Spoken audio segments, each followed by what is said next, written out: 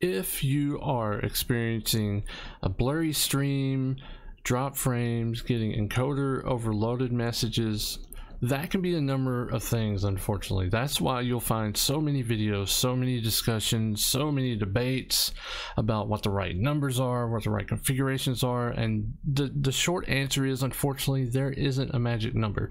It is unique to your situation and your viewers situations and I'll explain that in a bit. But I will give you a few places you can start looking. So uh, for this example I'm using OBS Studio. I recommend OBS Studio. I love it. So let's say you're having a blurry stream. It just looks especially when there's fast movement. So what you want to do you want to go to file settings and there's two areas we're concerned with. The first one will be output.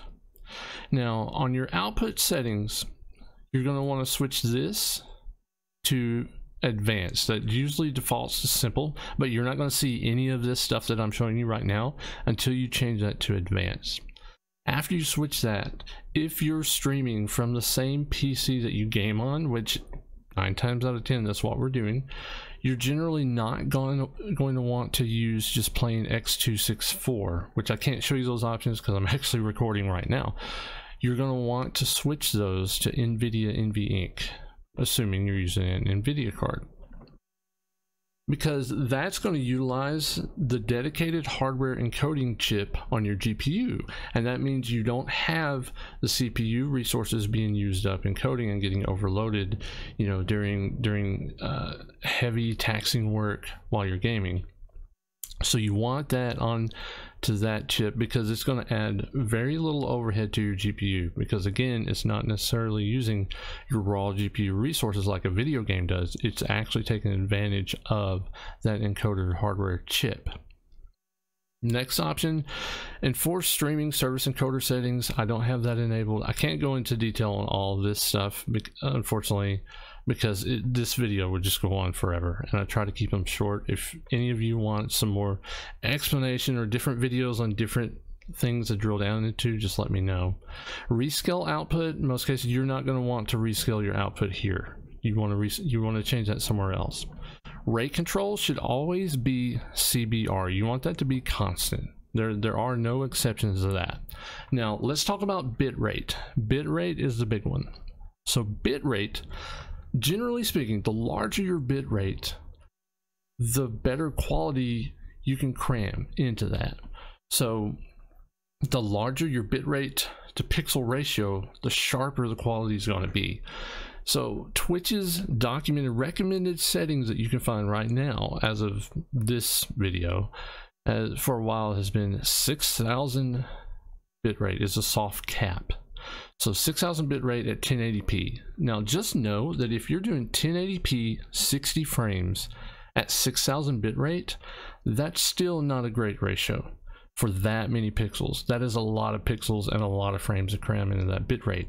So at 1080p 60 6000 whenever you get fast movement and a lot of frames going on, you're going to get distortion, you're going to get some pixelation. You'll there's some big partners you can watch on Twitch that they stream at 6000 bit rate, 1080p 60 and whenever there's fast movement even their streams distort. Now most viewers, well, I wouldn't say most, but a lot of viewers are viewing a mobile or a tablet. It's not really that noticeable.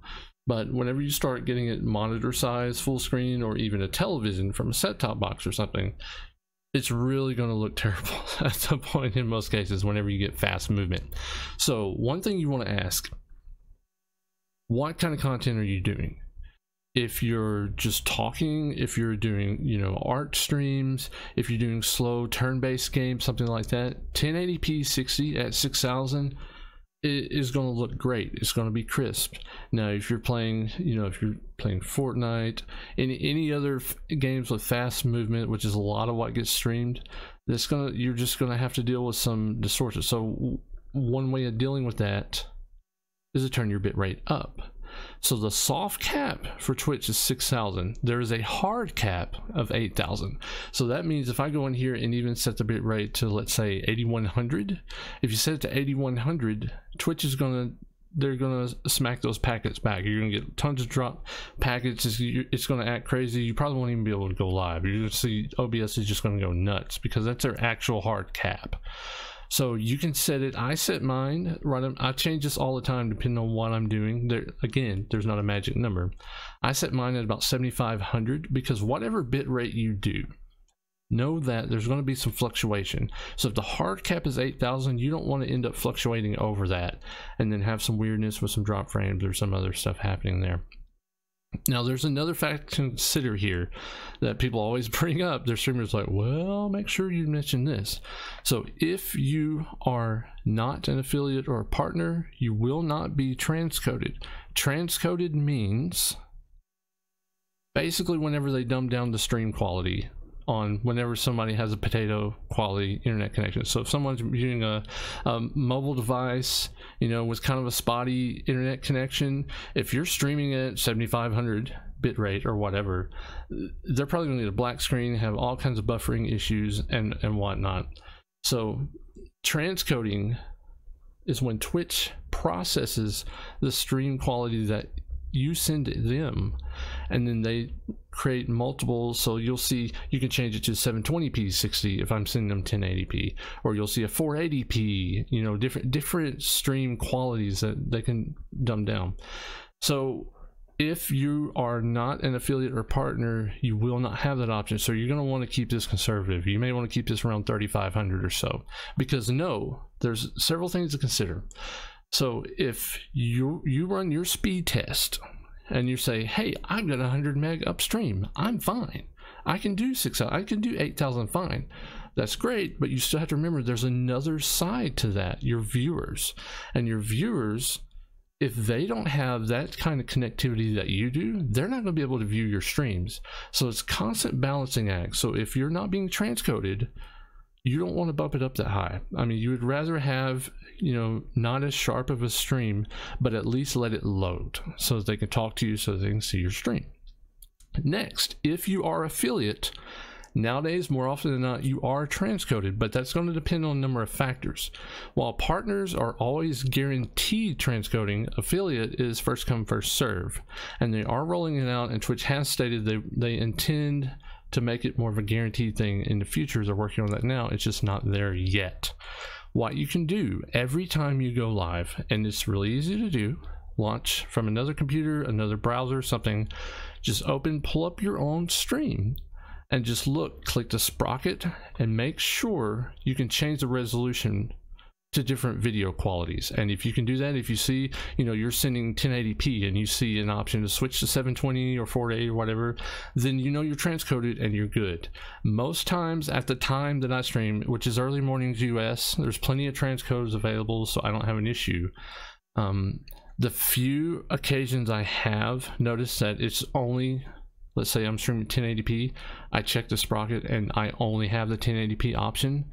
I'll just end the stream really quick, and then start it back. And every time I've done that, the next time it's grabbed a transcode.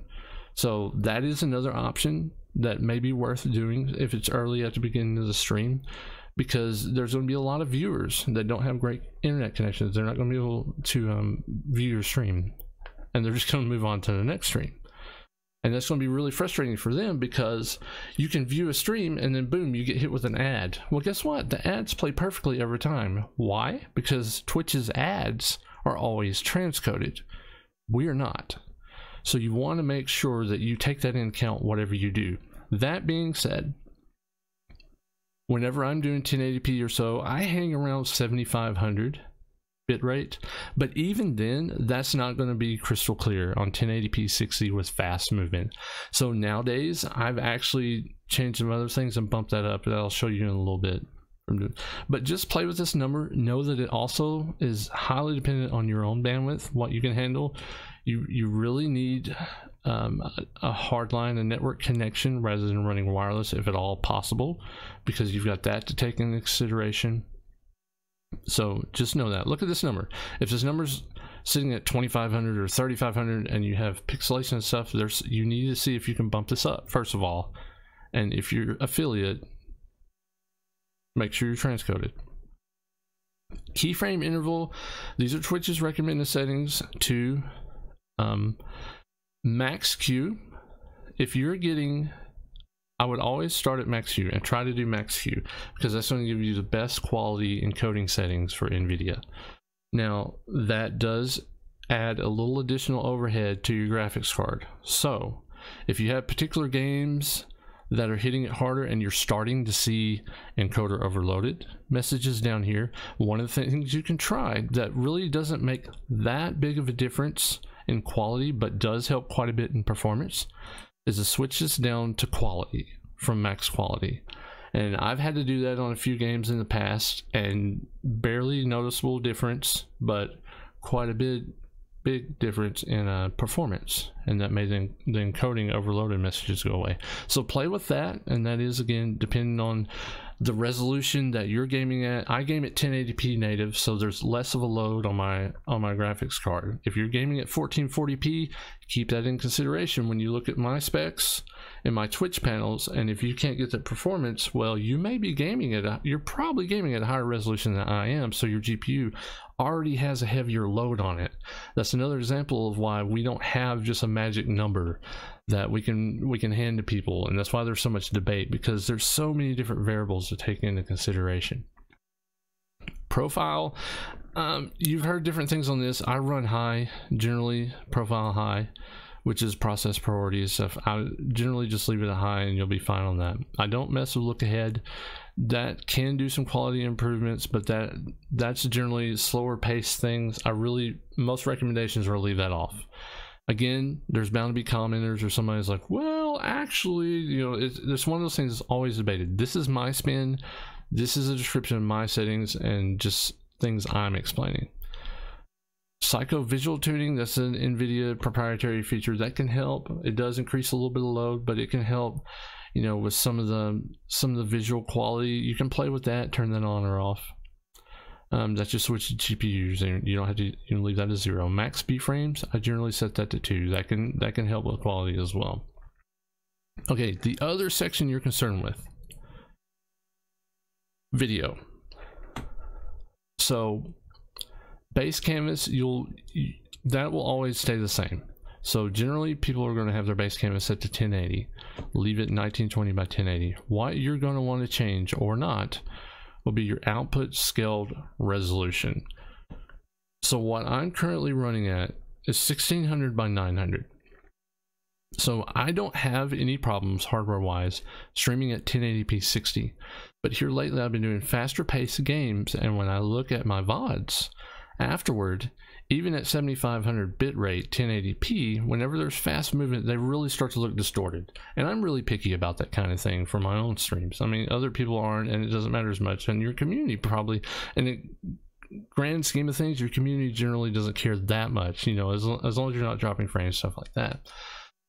But i dialed it back to 1600 by 900 so what I've done, so, and this is another thing that several people do. It's not like I invented this. So that's technically 900p. And you'll have to type that in because it's not an option, a default option in that box.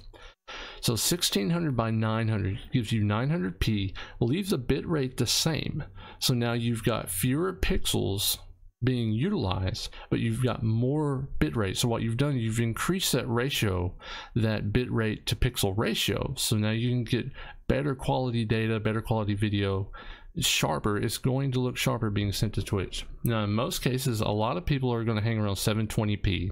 Keep in mind that a large number of people are going to be viewing on smartphones, tablets, you know, mobile devices. Roughly half your audience, maybe, and, and even the ones that are using web browsers, uh, they're not running it full screen in their web browser. It's in a window in the browser. So 720p in most cases, I mean, that's why that's the most popular one.